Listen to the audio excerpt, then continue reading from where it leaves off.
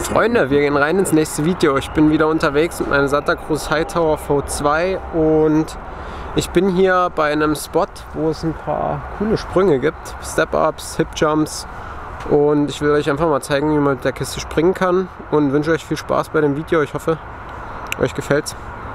Let's go. So, schauen wir uns mal die erste Linie an. Also die geht da oben los. Über so ein paar Wellen, Linksanlieger. Nochmal ein cooler Linksanlieger, da kann man es immer schön äh, braten lassen. Dann hier rein über eine Welle. Und dann gibt es hier ein ganz cooles Feature, nämlich so ein Hip Jump. Und da versuche ich jetzt mal für euch ein bisschen was abzulichten. Genau.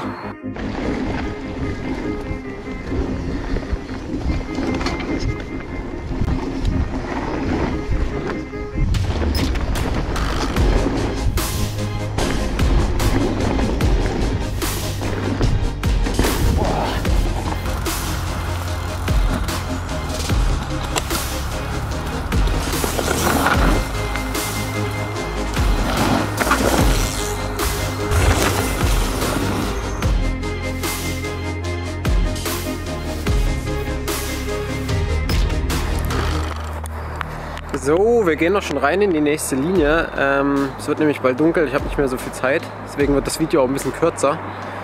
Die beginnt da hinten, äh, geht hier ein bisschen zwischen den Bäumen durch.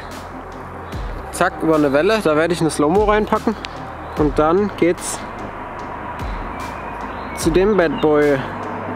Das ist ein relativ großer Step-Up.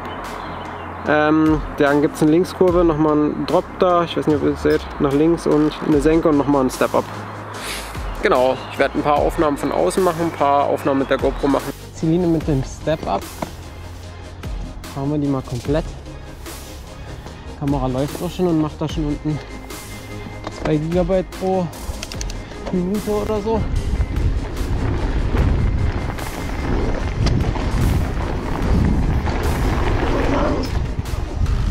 Oh, geil.